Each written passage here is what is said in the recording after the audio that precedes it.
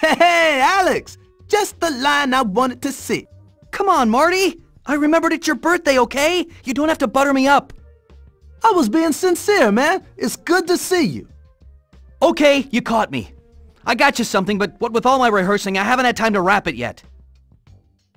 Four shows a day. Gotta get into character four times. That'll take its toll, sure. Yeah, four a day.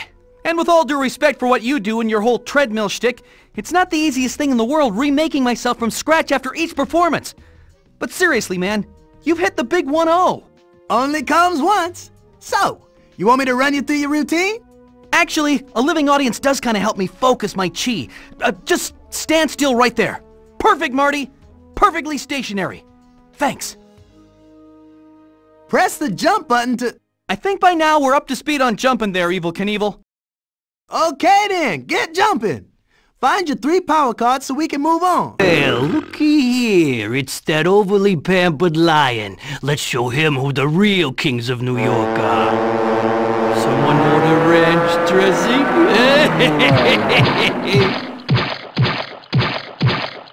you can't do your act with those pigeons raining on your parade. Use your attack button to roar and scare them off. You're still a king. Don't let those flying rats tell you different. Looks like my work here is done. Maybe you ought to swing by Gloria's. You look like you need a little pick-me-up. Nobody cheers up a zebra like a hippo, right? Maybe Melman can cheer me up. No matter how bad I think things are, they're always somehow worse for him. Marty, what's wrong? Is it contagious? What's wrong? Well, I've just been feeling a little... Oh, things are going okay with me, except of course for the germs. Oh, and then there's the microbes, and then there's the fact that I've been waiting for my medication for the last 38 minutes! Oh, Marty, this is the end! How can you stand it? Okay. I'll see you later, Melman. Happy birthday, Marty. Thanks, Gloria. Look, sister, are we gonna race or just get in touch with our inner angst all day? They want to race you? I know. Do they know about the... Nope. So they're full of... To the beaks. You heard the zebra. Time to put your money where your mouth is. In point of fact, we have neither money nor mouths. But if you're really up for a race, we accept your challenge. Marty, would you mediate? On your mark, get set. Looks like my work here is done. Guess I'll kick it on back to the curb. Aw, Marty, don't be blue-striped. Chin up. It is your birthday after all. What you guys up to? That's classified. Classified? To whom? Looks more like you're just hanging around by a hole in the wall. Absolutely not. We're in the midst of a covert training operation, trying to bring the private here up to speed in the ancient military art of fishing. Now that I think about it, the operation really isn't so covert.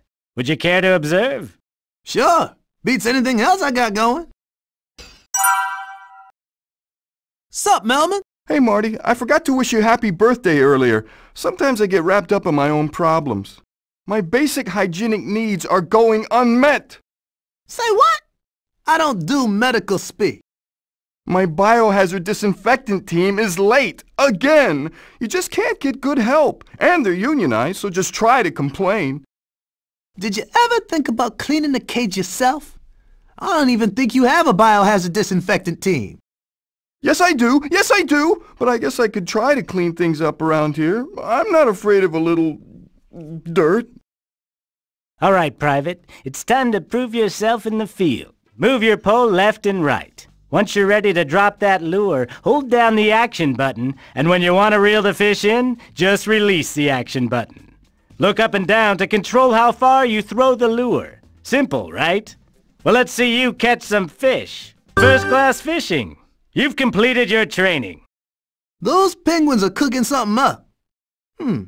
Some If I pop enough of these balloons, I talk funny.